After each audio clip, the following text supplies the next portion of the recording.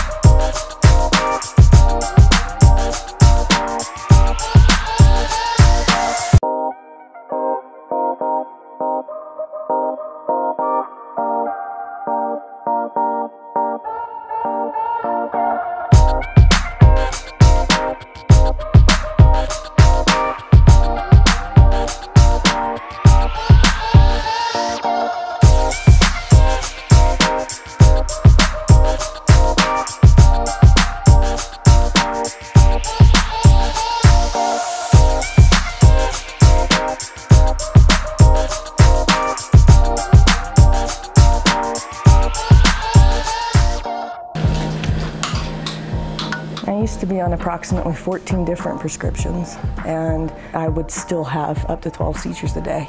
I used to have to take two handfuls of pills, no more. While this 27 year old epilepsy patient in Montana is relieved to be taking medical marijuana, I'm not using it to get any psychological effects off of it. I'm just eating the butter raw with bread. she's considerably more anxious about showing her face and has requested we conceal her identity. Why do you not want to show your face?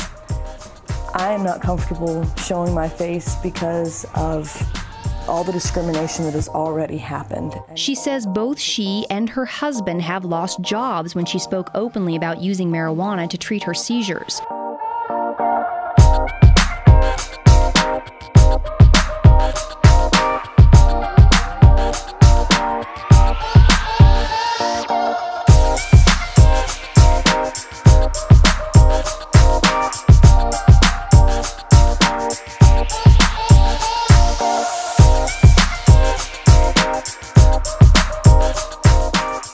Medical marijuana use has been legal in Montana since 2004, when voters there approved an initiative allowing doctors to recommend it to their patients. However, the federal government still classifies the plant as a Schedule 1 drug. That makes it illegal for doctors to prescribe it, and it means state law does not protect patients from federal arrest and prosecution.